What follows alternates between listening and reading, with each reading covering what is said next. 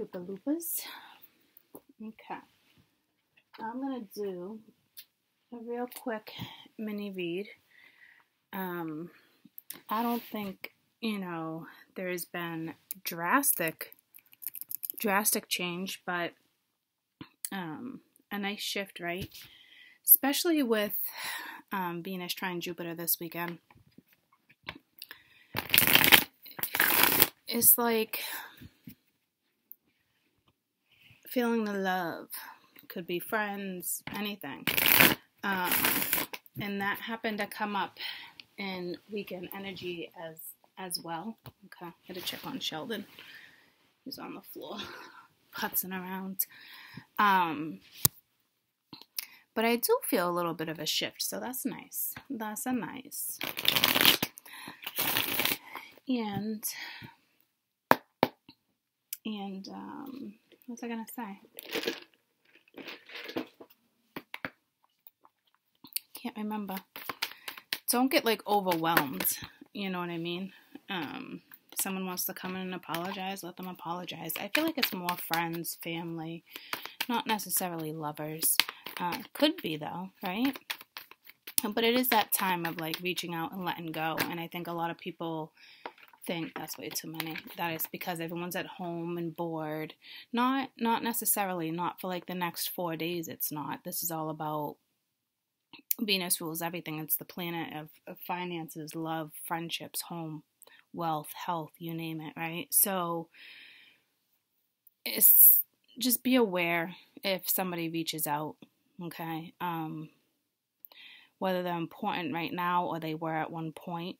Some people are going to want to reconnect, okay? So it's just a homey, comfy feeling. So you got the six of Pents. So that's that's balance. Okay, you may be dealing with a king of swords, could be a father figure, could be a male in your life. I can't imagine that's a woman coming in in masculine energy wanting to apologize or rekindle a friendship or anything like that. Not coming in as the king of swords, right? So to me, the king of swords would be more of your prior dealing. Speaking of an Aquarius, somebody in Aquarian energy. And, you know, ironically enough, Aquarius does rule, you know, partnerships, friendships, community. Okay. So, moving forward, reaching out, letting the past go, trying to balance out a situation again. So, that's nice. It doesn't have to be an Aquarius sun, moon, rising, nothing like that, troops. It speaks of the house and what the house represents. And speaking of home, this is Cancer. Cancer rules the home. Okay, so this is this is nice. This balance. Somebody might be at a distance. It's been a while. Could be foreign lands. It could be um, via internet talking about certain stuff. Um, you could be redecorating your home.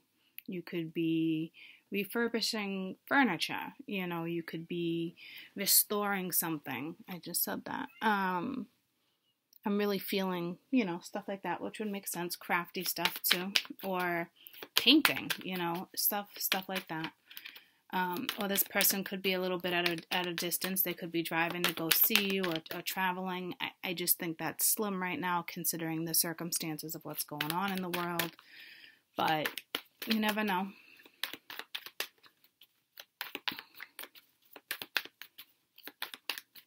someone could be traveling for work, you know, or, you know, you could be making plans to come see each other maybe in three weeks, something like that. April is very important, guys. I've been saying that to my crew for a very long time now. April's going to be crazy, but it's going to be great. I'm excited. I've been telling you guys for months I can't wait for April. A lot of you are going to have that past returning to in April. We've talked about it, the catalyst, whether you wanted to show up or not. And then we got the Princess of Cups. So you're liking what you're hearing, you're liking what you're talking about, you're feeling it, you're trying to ground a situation. There's clear communication. You're dealing with somebody who definitely knows how to communicate. So let's go one more row and find out what's next regarding all this. So Six of Pents, what's next with this transit? With this transit, with this transit. So I'm guessing, you know, this energy is gonna be around for a good four days. So it is it is Venus trine Jupiter. We love Venus and Jupiter. Jupiter expands everything and gives gifts, right? And this is all about gift giving. We've been working with Mars energy a lot, Aries, for like the last month. It's just been bam in our face, right? So don't forget, Mars is still in the picture. But, and be careful, be careful with what you're eating too, with Jupiter being here. Okay. Um, snacks. Don't be snacking like nuts. Natalie's texting me. I haven't talked to her in a while. Um, but this is this is definitely a gift. Okay, this is a new opportunity, giving you time. It looks like this energy is using their intuition. I might not. um, turn off my ringer. Shout out to Natalie. Um, so this energy is using your intuition, or, or, this is saying you, you know, you use your intuition. Maybe they're reaching out to Pisces.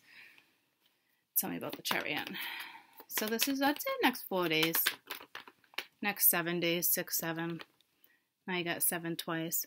Confident, resilient, stands firm in their morals, feeling good, alluring energy, beautiful energy. It's got their shit together energy. So you could be dealing with a Cancer who's single Okay, this is just saying, you know, moving past the past, moving forward. Your your future's here. It looks like you you like it. My hands were just about to. I just had to control my hands. I don't know what that's regarding. They just got wicked shaky. So I don't know if there's some nervousness going on. Three of Wands, Three of Wands.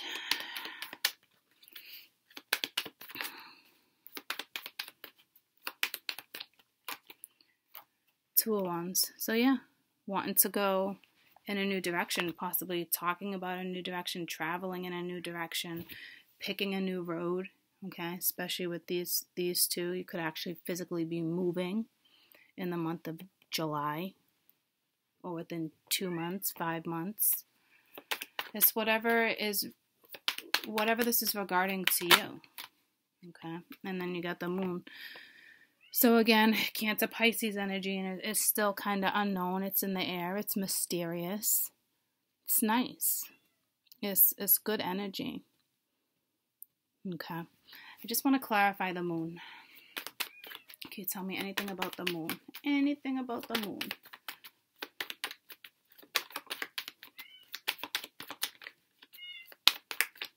Nyla is dying to get in this bedroom because of Sheldon is on the floor. The bottom of the deck is the Eight of Wands. So, communication, possibly, or travel. Um, this does have to do with a masculine energy. So, you could be dealing with a, a Pisces, Cancer, Scorpio, Sun, Aquarius, Moon. This could be the rising. It, it really just depends on how you want to um, perceive this, whom you're dealing with, okay?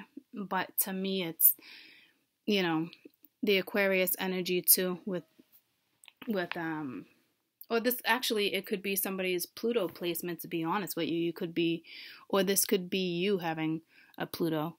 Well, everyone has a Pluto placement, but you could have Aquarius and Pluto, okay? But to me it's, you know, Aquarius energies, community, partnerships, friendships.